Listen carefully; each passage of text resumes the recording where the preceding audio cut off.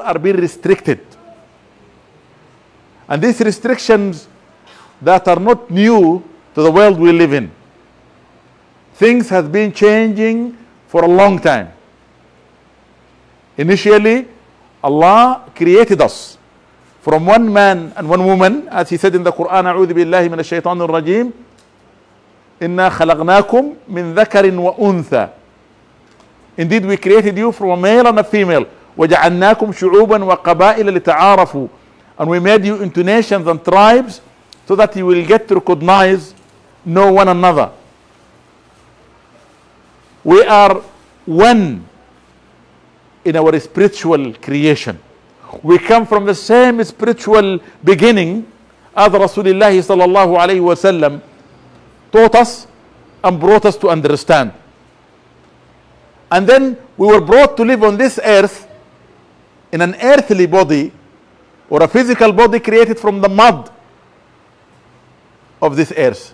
Inna khalaqna al-insana min tin. We created the human from mud so that we can be able to function and to live as earthling or human being of a physical nature. Our spirit, although it comes from the upper world, but yet Allah has given it the opportunity to exist in this world as long as it can abide and follow that which is being revealed in the scriptures before Al Quran and in the wisdom that was brought by the prophets and the messengers and specifically the wisdom of Sayyidina Muhammad sallallahu alayhi wa alihi wasallam. Our father and his son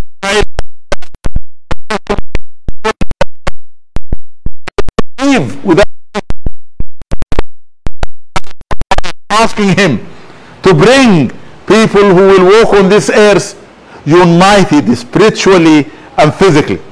Allah says in the Quran, أعوذ بالله من الشيطان الرجيم ربنا وابعث فيهم رسولا منهم يتلو عليهم آياتك ويزكيهم ويعلمهم الكتاب والحكمة وإن كانوا من قبل لفي ضلال مبين Our Lord bring from the midst of them those generation that were living they were asking Allah to bring from them. A one who will be a guide. A one who will be a light. A one who will be an example for humanity. That who will recite the book for them. And he will teach them the message of the book. And he will show them wisdom. And he will purify them. Physically and spiritually. Allah subhanahu wa ta'ala knows better he then answered their prayer and gave it the way he chose to answer it in Surah Al-Jum'ah Allah says أعوذ بالله من الشيطان الرجيم it is he Allah subhanahu wa ta'ala who have chosen for you from your midst one who will come before you first he will cleanse you then he will recite the book for you then he will teach you the meaning of the book and then he will show you wisdom. We know and we understand cleaning us is the most important thing. Because Rasulullah sallallahu alayhi wasallam Allah is telling him although you are the answer of the prayer of your father Ibrahim and his son Ismail to be the example for the ummah but we do not want you just to read the book for them. First clean them up. Knowing that we as humans we are manipulated inside and outside the manipulation from ourselves come from our egos. Allah says in the Quran, Inna nafsa la ammaratun bisu. Indeed, one's nafs will always strive and struggle to pull them down and put them in places where Allah dislikes or forbid. Allah has forbidden. This is something that we need to think about. Our egos are our earth, earth enemies. We are looking out and trying to find enemies. We are making animosities with those who don't deserve to be enemies. Allah never commanded us to take human beings as enemies he never commanded us to take any creature as an enemy only one إن الشيطان كان لكم عدو فاتخذوه عدوا indeed shaitan has taken his position to be your enemy from the day your father Adam was created take him as an enemy other than that there is no animosity the contrary teaching of Allah in the Quran فإذا الذي بينك وبينه عداوة كأنه ولي حميم even between that and you, there is grave animosity, there is adawa, there is hatred and rancor and ill feeling in the heart, those people whom mistreat you or you are mistreating them, those whom your relation is severed from them, you must treat them as if they are the best of friends. Who says that? Allah subhanahu wa ta'ala. And therefore this meaning of coming together, standing shoulder to shoulder, doing things for Allah's sake, we're not really doing them properly. Because although the Prophet wanted to cleanse the companions first, we chose not to cleanse ourselves. We chose to learn first. We chose to then learn wisdom first. It's amazing. A person wants to have a PhD before you can go to nursery. Islam is about cleaning ourselves. Rasulullah sallallahu alayhi wa sallam, Allah taught him how to clean us.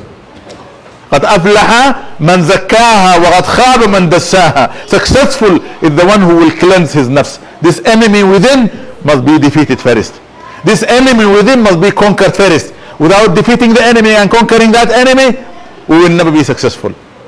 Even the people whom we call a rijal, rijalullahi subhanahu wa ta'ala, the sages of the world, people like Abdul Ghadir al-Jailani and Ahmed al-Badawi, Ahmed al-Rifai, Ibrahim al-Dasughi, Sidi Muhammad ibn Abdul Karim al-Samman, rijal, like mountains, they never started their journey by just learning knowledge. Naam, Learning knowledge is important. Ta'allamul العلم. The Prophet ﷺ said, learn knowledge, but cleanse yourself. Learn how to clean yourself.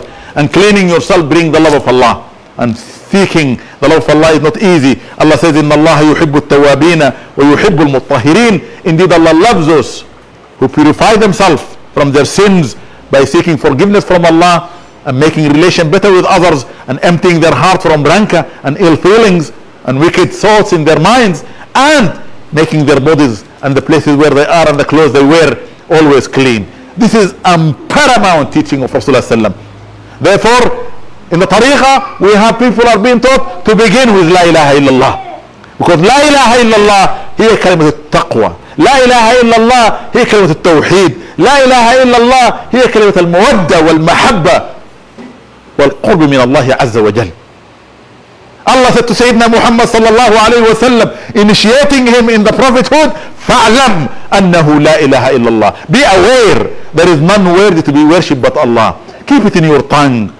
Move it from your tongue to your heart. Move it from your heart to your limbs. Let La ilaha illallah washes your physical body. Let La ilaha illallah conquer your desires and make your desires looking for that which is higher rather than that which is lower. The murids of today, they don't want La ilaha illallah. They want that which will open the heart so that they can be able to say, I can hear or I can see or I have kashf or I have fath. This is not the teaching of Rasulullah sallam. This is not the teaching of Ahlul Bayt Ridwanullahi alayhim ajma'in. It's not even the teaching of our mashayikh. May Allah bless them and raise them and guard them and give them that which He has given Sayyidina Muhammad sallallahu alaihi wasallam. In this day, after one year and a half being locked down, many of us are coming and thinking, Alhamdulillah, let us celebrate. What are we celebrating? Celebrations are a sunnah of humanity. Muslims and non-Muslims celebrate. Celebrations are of two sorts. Celebrations are of culture and celebration are of faith. The celebration of culture, the Prophet ﷺ taught us, they are not all haram. We can celebrate the day of freedom. We can celebrate our birthdays. We can celebrate the day we pass our exam. We can celebrate anything. But when it comes to spirituality, when it comes to religion, when it comes to connection to Allah, we only celebrate what Allah has commanded to celebrate. When Rasulullah sallallahu alayhi wa came to Medina, he found the Ansar having two days in which they celebrate. And they were so happy about them. They come out with their women, with their children, and they dance and they sing and they play and they eat and they are happy and they are merry as they say in English. And the Prophet asked them, what are you doing this for? And they said to Rasulullah these are days Allah has given them to us so that we can enjoy life and celebrate life. He said, Allah who has allowed you this has exchanged them for you by my coming to you in Medina by two days which are better and more rewarding for you. Eid al-Fitr wa Eid al-Adha.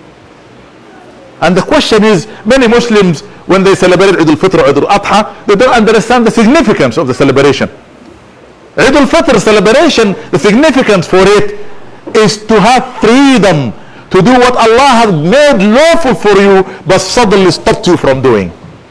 All the year round, eating and drinking is halal except the forbidden food and forbidden drinks. Ramadan comes, Allah says, do not eat and drink from the break of dawn to sunset. And if you do, a day you break deliberately, you can never compensate even if you fast 60 days. Allahu Akbar, consecutively.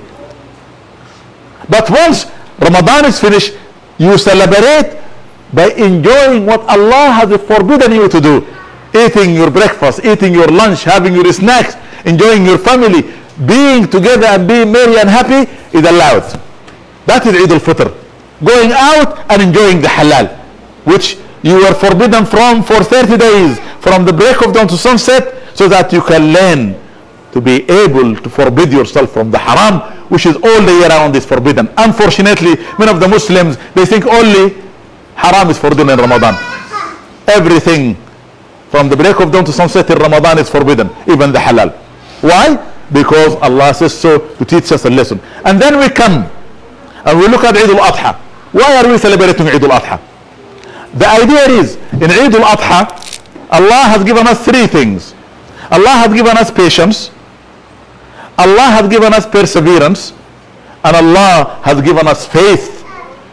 Gave us patience to be able to coexist with others Gave us perseverance to be instilling in ourselves, even if it is harder, as long as we are a benefit to others, we will keep holding on. وَالَّذِينَ جَاهَدُوا فِينَا لَنَهْدِيَنَّهُمْ سُبُلَنَا Those who will strive toward us, will guide them to us.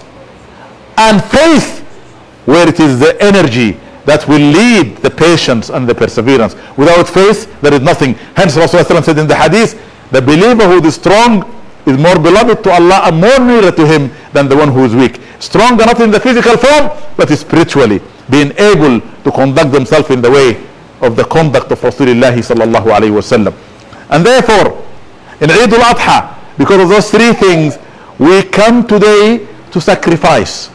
What are we sacrificing? We are sacrificing in blood a sheep, a goat, a calf, a bull, a camel, and spilling that blood. For the non-believer, for the one who is not strong in faith, they think that why are we killing the animals? What for? What the benefit? Allah subhanahu wa ta'ala has created those creatures for many, many purposes. And one of the most important purposes that they can be used so that we can draw ourselves nearer to Allah by sacrificing them and drawing their blood out of them. Allah subhanahu wa ta'ala says about Sayyidina Ismail alayhi salam who was supposed to be sacrificed. Allah says, وَفَدَيْنَاهُ بِذِبْحٍ عَظِيمٍ We have exchanged him, Ismail alayhi salam, by a great sacrifice around Jibril alayhi salam brought from the heaven so that the blood can be spilled.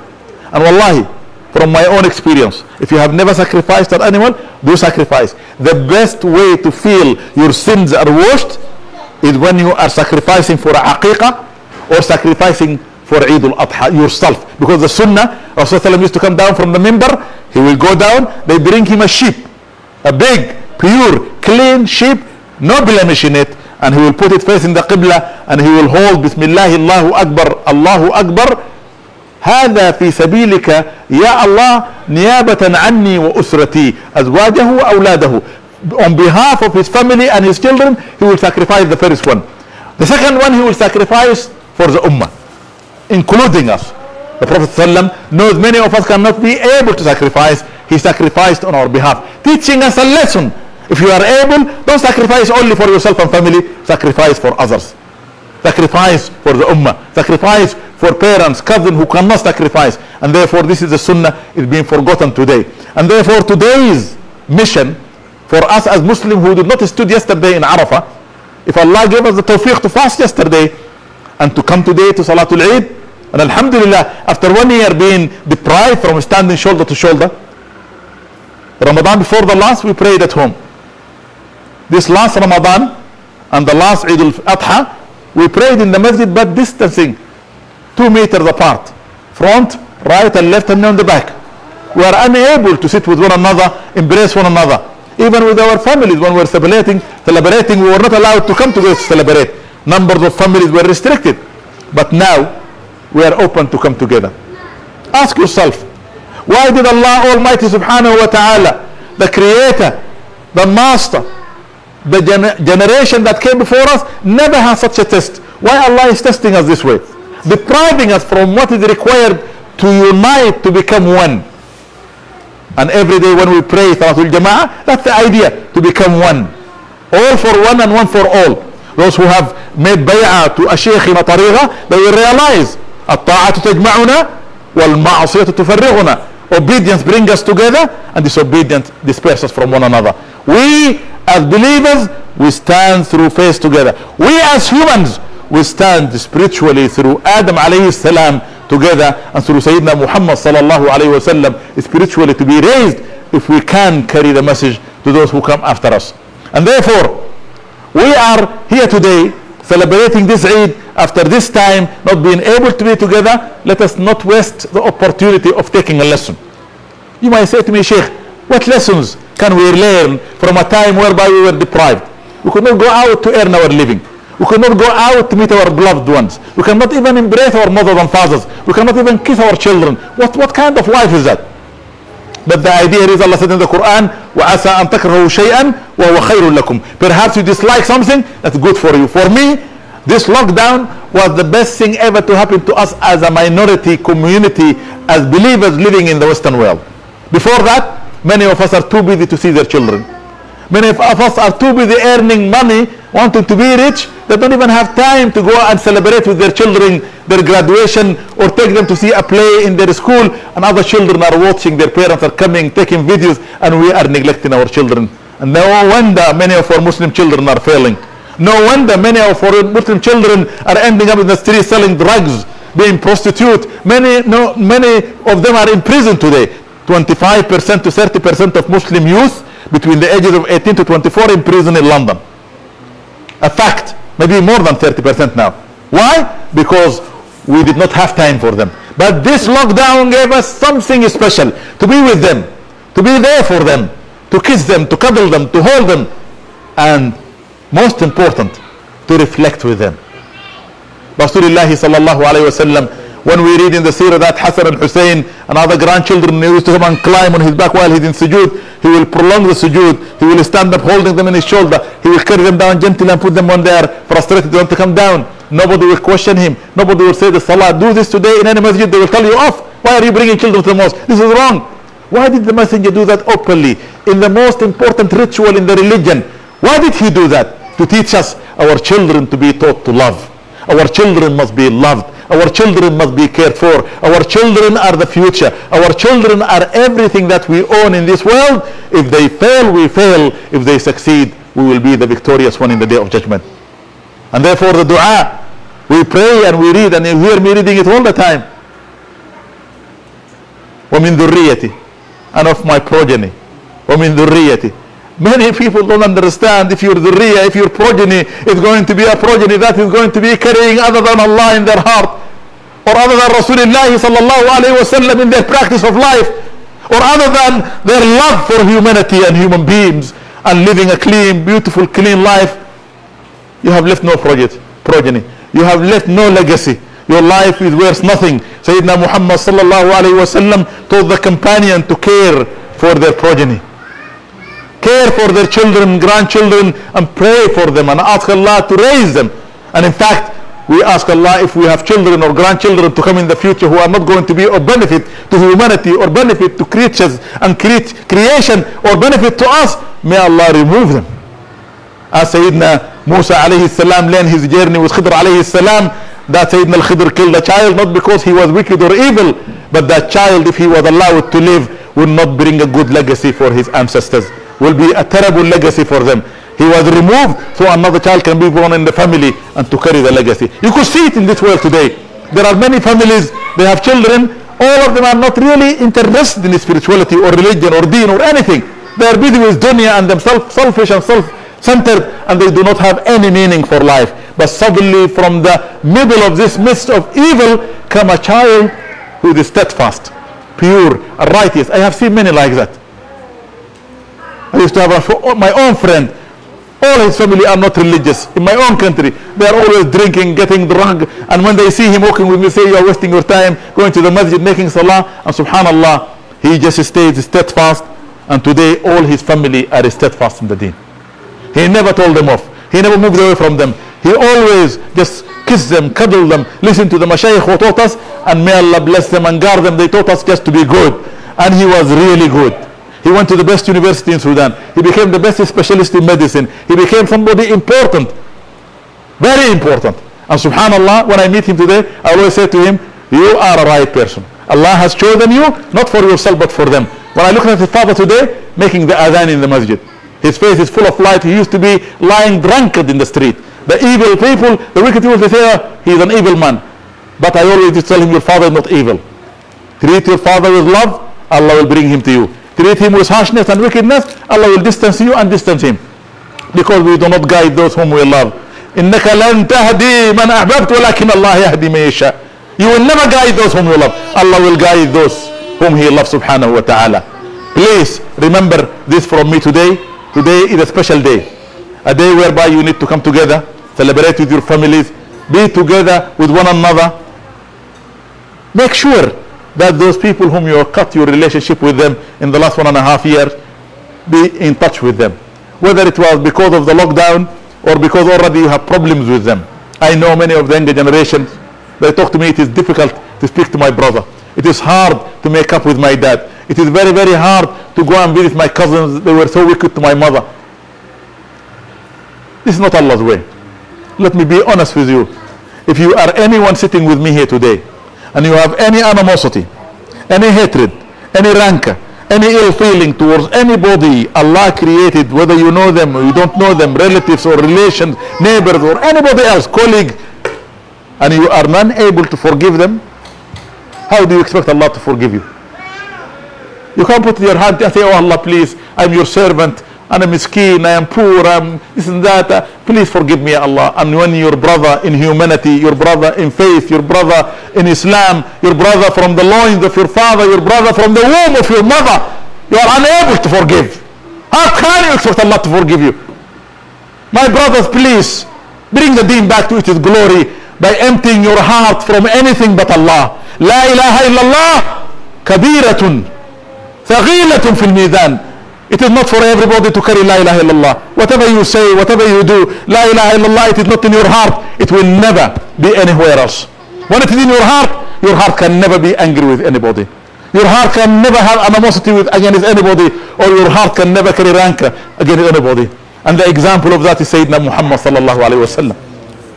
He forgave when he came to Mecca. The conqueror sallallahu alayhi wa sallam. Inna fatahna laka fathan mubina. Oh Muhammad sallallahu we have given you the greatest of opening. He came to Mecca with 10,000 willing to fight and to spill blood.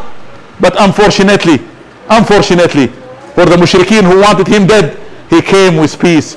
His chin was touching his saddle of his camel and the companions were around him weeping, crying for the love of Mecca, for the love of the Kaaba, for the love of their people whom they have to run away from. And subhanallah, when the mushrikeen came, he stood before him, he asked them a question. ماذا تظنون أني فاعل بكم? What do you think I'm going to do with you? In today's world, when the conquerors go, you have seen it when the American enter uh, Baghdad, when they entered Kabul, when some of the uh, English, when some of the French, Russian enter countries, the first thing they do, they destroy. Second thing they do, they capture everybody, put them in prison. Third, they choose those whom they don't like and torture them. Don't tell me there is no torture. No, with democracy or no, there is torture. There is evil torture. No prophet, no messenger, no wise human being will ever torture a human being. The prophet never opened the prison, sallallahu. You should ask yourself, what did he do with the captured? He will ask them a question. What knowledge do you have? What equipment Allah has occupied your heart with so that you can utilize it in this time you are with me to teach 10 of my companions so that they can become like you in doing whatever work that you do in craft or knowledge and you can go free. Imagine knowledge become the mean of releasing you. Number two, if you don't have any knowledge, you are given to a companion to live with. And as long as you can live with that companion, adhere to the Prophet teaching, to become one with the community, living in peace until they realize no hatred in your heart, then they let you go. Free. This is the Prophet. He said to those people of Mecca, the Mushrikeen, اذهبوا فأنتم الطلقاء. Go for you are free. I have no animosity in my heart. I have no anger in my heart.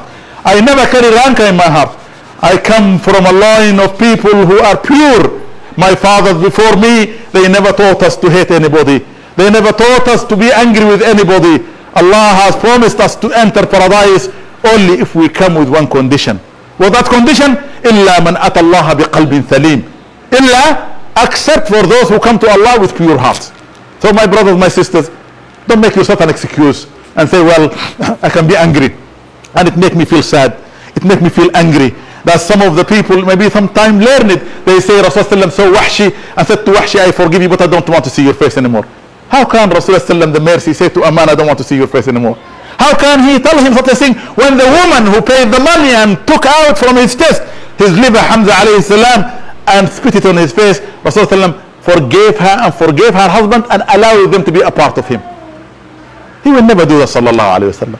For he was sent as a mercy to the world. أعوذ بالله من الشيطان الرجيم وما أرسلناك إلا رحمة للعالمين. Today is a day of rahmah. Mothers, please train your children to respect you and love you. Don't distinguish between your children. Don't treat the boys in one way and the girls in one way. Don't make the boys superior upon the girls and therefore the non-Muslim look at us and say our boys are being created to be royals and our girls to be slaves and servants. For nobody raises and nurtures children but the mothers themselves. If there is any illness in the house, the mothers who are Rabbatul Biyut, one of them is Rabbatul Manzil or Rabbatul Bayt, her duty is to make sure that her children are raised the way the Prophet raised his children. I am saying to you, many of you come to me here with children. Those children are not belonging to you. Those children are an amana on your neck. Those children must be raised like the Prophet's children. They must be raised like the children of the companion and the children of Ahlul Bayt. And they taught us that we should raise them with love, with compassion, with kindness, with leniency. For indeed, Rasulullah sallallahu alayhi wa sallam taught us, Al-mu'min ilfun alif. The believer is lenient, gentle and kind, easily befriended and people want to be their friends. ولا خير في من لا يألف ولا يؤلف and there is no benefit in the one who cannot be, be made friends and nobody want to become their friends so please take this from me teach your children this way the Prophet ﷺ says حببوهم ولاعبوهم لسبع from the day they are born zero to the day when they are seven years old love them cuddle them play with them allow them to roam if you are worried about something to be broken if you are worried about something that they will do wrong remove it from their path but give them total freedom look today they tell you the best education timetable or the uh, ranking table for the best schools in the world, it's not really in Arabia. It's not really in Saudi Arabia, not really in Sudan, not really in America or England. They come quite late, not even in Japan. It is in Scandinavia. And do you know the secret why? Because their children go to school to be instructed from the age of eight. The Prophet ﷺ says, علموا أولادكم لسبع. Once they complete seven years, you begin teaching them.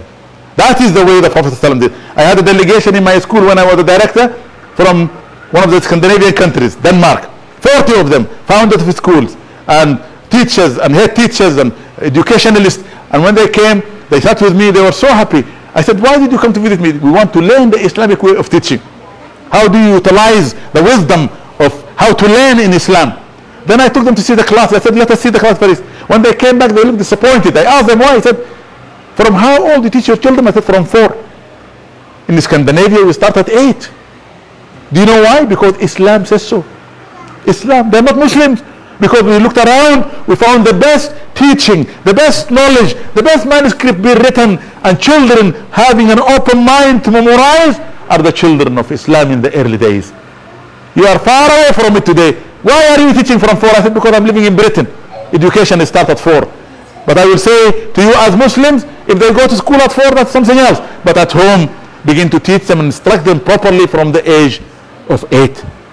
Everything you will teach them will remain in their heart. Everything they will memorize, they will never leave them, inshallah. And then from the age of eight going on until their age of 14, you discipline them and you teach them. For many Muslims, disciplining is a stick, a whip. Beating the children is something important. No, no, no, no, astaghfirullah. والله أهلنا ما ضربونا أهلنا ما عذبونا ولا شتمونا Our families never beat us, never shouted us, never called us names. Never. I can never remember my father or my mother or my grandfather. My, nobody does that. To us, this is non-Islamic. And teaching is by showing you right or wrong. Disciplining you by providing means of you to appreciate what you have done good and means of taking away privileges from you when you go wrong by giving you an example. لقد كان لكم في رسول الله أسوة حسنة Indeed in the messenger of Allah you have the best of example but not for everybody لمن كان يرجو الله only those who want Allah وَالْيَوْمَ الْآخِرِ And those who want the day of judgment. So my brothers, my sisters, this is my message. When your children reach 15 and they are selling drugs in Edgware Road or they are being manipulated by elders carrying knife and suddenly you hear a child being uh, stabbed or killed, don't blame the child. Don't blame, the children have no uh, any guilt in them. The children have got no guilt. They have not committed the sin, but their parents did.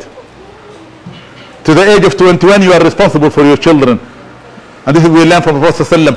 he said teach them until 21 Ali ibn Abi Talib said Ya Rasulullah if I did all that and after 21 22 comes and he's not the same or she's not the same he said فَضْرَبْ بِهِ عَرْضَ الْحَائِط فَضْرَبْ بِهِ عَرْض literally meaning let them go you're not a responsibility anymore so fathers mothers today you learn this lockdown taught you to love your children be with them play with them maybe they gave you a headache maybe they gave you difficulty but it's for good don't hate it love it because now you know how to be with your family you see how hard raising the children how the mothers suffered at home sometimes the father is working mother is working but still the father expects the mother to do the home duties no no we help them قال رسول الله صلى الله عليه وسلم خيركم خيركم لأهله وأنا خيركم لأهله the best of you is the one who is best to his family I am best for my family وكان رسول الله صلى الله عليه وسلم يخدم أهله and he صلى الله عليه وسلم used to serve and look after his family we have seen our mashayikh we have seen our teachers we have seen our fathers grandfathers do this and they lived a wonderful life successful life may Allah bless me and bless you and guard me and guard you and give me and give you tawfiq inshallah واستغفر الله واتوب اليه استغفر الله واتوب إلى الله من كل ذنب من كل معصيه من كل خطيئه تبنا اليك يا رب من كل شيء الحمد لله رب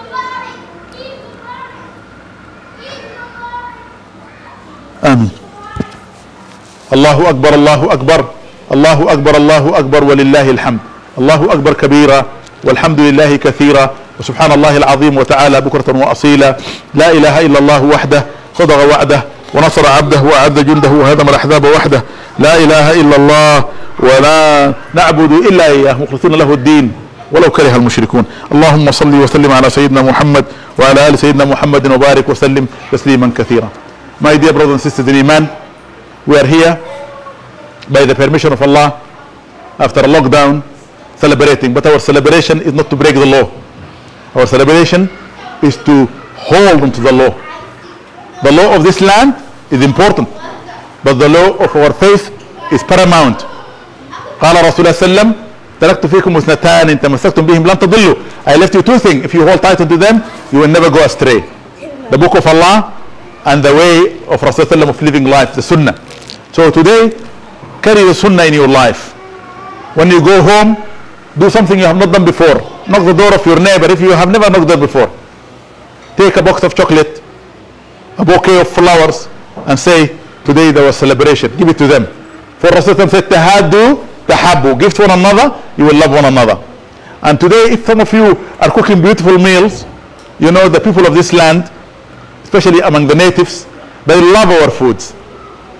You don't see in the street a lot of English or Irish or Welsh or Scottish restaurants, but you see Indians, you see Italians, you see Chinese. They love all the cuisine of the world, and you are one of them. They smell the smell of the food in your home, but you do not even give them a chance to see that which you cooked, leave alone testing it. Today, let them test it. Remembering that if you did your qurban here, a third of it is for them and your friends. It's not yours. A third of them is for the poor people who are not able to come to you. And a third is to be eaten in your family with those who come to visit you. So today, when you cook your meal, do your neighbors a favor. Not them just smell and say what a beautiful smell you have in your house. Let them say, what a beautiful meal I have ate. You know why? Because Rasulullah said to the companion when they came to Medina, he says, when they asked him, what shall we do? The majority are non-Muslim. What can we do? The Jews, the Christians, and their atheists, very, very few Muslims said, أفشوا السلام وأطعموا الطعام. Everyone you meet says, السلام عليكم. They have to say عليكم السلام and share your food with them. You know why should we share the food and the food is important? Your food is killed in the name of Allah. Your food is cooked by a hand that believe in Allah. Your food has a lot of blessing and barakah in it. If they eat it, maybe Allah through that barakah will soothe their hearts. When they see you, they realize you are in the path of truth and Allah can guide their heart to the truth and they can become Muslims and the best of thing that you could do is to be a means of guidance for people inshallah. Do this and Allah will be good to you. May Allah forgive me and forgive you. May Allah guard me and guard you and give us tawfiq. Inshallah, I will say to the people here, we have a, a brother uh, who is, uh, uh, mashallah bless him, a Sudanese brother. I just heard about him last week. Uh, he realized that the Muslims in Cardiff, in the area where he lived, they have no masjid. So he bought two houses and began just to renovate them and to make them into a masjid. A lot of people in the area who are very good, they helped him. And in fact, I heard one man came to him and said to him, you are doing this for Allah? I said, of course. What for? And he gave him a hundred thousand pounds to carry the renovation to make it a proper masjid. He said, make it good. Now, they just are in the finishing. If you are able to help them, Brother Tariq from Sudan, he was here, I think he went out. Please, he will tell you what to do. Help them. I think they have a website, they can put money for them Even if you pay them a pound, anybody who come to pray in that masjid, inshallah will be, that is Tariq. Uh, Tariq, move your hand, yes, that's Tariq. And he will, he will show you how to help. Anything. Whenever you hear of khair, rush to do khair. Allah said in the Quran, وَبَعَلُوا الْخَيْرِ And do the good. Believe me, the people who taught me and the people I lived with from my family, I only saw their success when I saw them competing in doing khair. I'll tell you something very special, and those who are in business, they will know this. My own father was a very successful businessman, very generous man. When you buy from him and he don't have money, he will say, take it. Whenever we used to open the shops, we have many shops in the, in the morning, we come and we clean and we uh, put water because it is dusty in Sudan, okay? We make what we call rash bilma, okay? We put water on the sand, we put bakhur, nice smells, and a customer will come and we will sell him. We used to do wholesale. And subhanallah, when a second customer comes, my father will tell me, look son, he didn't never call me my name, he used to call me Mabruk, come تعالى Mabruk. You know that, you know Haj Muhammad there, that Mr. Muhammad there, he did not start his day with anything. He opened early before the month, but no customers. Take this customer for him. Which businessman can do this today? Tell me, which businessman? Today they will fight or your own customer to take and try to cheat that customer from you. I went to Sudan last year before this. My cousins they're working in the market, and I saw people fight. I said, I said they are fighting on the customers. They are cheating. They are lying. They are deceiving. So please, let us be the good people by doing something good. My father did that, asking me to give that person. No, wallahi, not because he want him to eat or drink or no, no. He want the reward he will get out of him. He said to me one day, you know something, my son? A lot of people don't understand. It's not just making your salah or going to Hajj or growing your beard or wearing your scarf or showing yourself you are a believer or carrying your sword for jihad. It is the little things that make you a believer. When you see somebody in the street hungry and nobody is looking at them, you go and suddenly comfort them and feed them. When suddenly somebody knock at your door and they don't look nice to enter and sit in your beautiful house and you welcome them and let them sit and bring them the best of food and drinks. When you are always caring for those who are unable to care for themselves When you are seeing a gap on goodness to be done but nobody is rushing to do and you take a chance and go, Allah is going to be with you. For Allah has commanded it and Allah will never let you down فإن الله لا يخلف الميعاد May Allah bless us all. Let us pray and ask Allah tawfiq. أعوذ بالله من الشيطان الرجيم. بسم الله الرحمن الرحيم. الحمد لله والصلاة والسلام على أشرف المرسلين. الصلاة والسلام عليك يا سيدي يا رسول الله. الصلاة والسلام عليك يا سيدي يا نبي الله. الصلاة والسلام عليك يا سيدي يا حبيب الله. الصلاة والسلام عليك يا إمام المرسلين. الصلاة والسلام عليك يا خاتم النبيين. الصلاة والسلام عليك يا شفيع المذنبين. الصلاة والسلام عليك يا خير خلق الله أجمعين. ألف صلاة وألف سلام عليك وعلى بيتك أجمعين. سبحان ربك رب العزة عما يصفون وسلام على المرسلين الحمد لله رب العالمين. I ask you all to pray from your heart. This building, we have got now an extension until the end of September. It is in the hand of men. And those men, their heart is in the hand of Allah. If Allah changes their heart, they will never move us from this building. This is my faith and my trust in Allah. Ask Allah by what you know. And I ask Allah by that which I was taught. باسمه العظيم الأعظم الذي لا يعلم علمه إلا هو أحون قاف أدم حم هاء آمين أهم صقع حلع يص بسم الله الرحمن الرحيم ألف لام ميم ألف لام ميم راء ألف لام ميم صاد طاسين طاس ميم طه ياسين صاد حاميم حاميم عين سين قاف قاف نون. يا الله بسرك المكنون. بياسين بطه يا كريم. سألتك في هذه الساعة أن تصلي وتسلم عليه وعلى آله أجمعين وأن تجعل هذا المقام مقاما دائما لنا يا كريم لتقام فيه هذه الشعائر.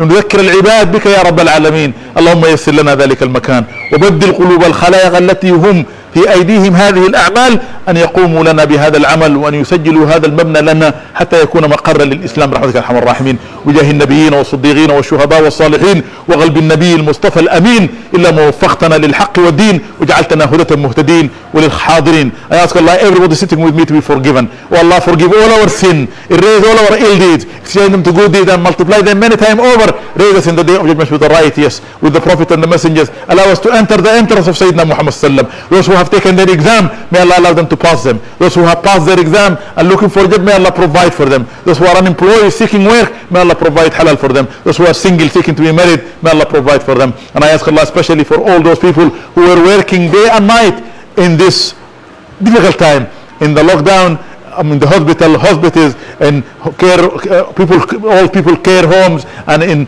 uh, supermarkets and ambulances, wherever they are. May Allah look after them. May Allah care for them. As they help us and support us, may Allah support them. For the people who are working in Rumi's, we know that what you have done can only be repaid by Allah. Giving your time, Amina, Galiza, Ali, and all your volunteers, and all those who come to support and help the most underprivileged people. May Allah raise you, look after you, care for you, give you tawfiq, and allow this building to be for you, Ya Kareem. وصلى اللهم على سيدنا محمد وآله وسلم على ربك رب العزة عما يصفون وسلام على المرسلين والحمد لله رب العالمين Before you leave your place, if you can just stand up, we just want to do a little bit of zikr because the brothers were a little bit, and just stand where you rose, just stand like that. And you can stand up as well. We just do a little bit of zikr and that will be good. And if Tariq and Ahmed can come here and join, uh,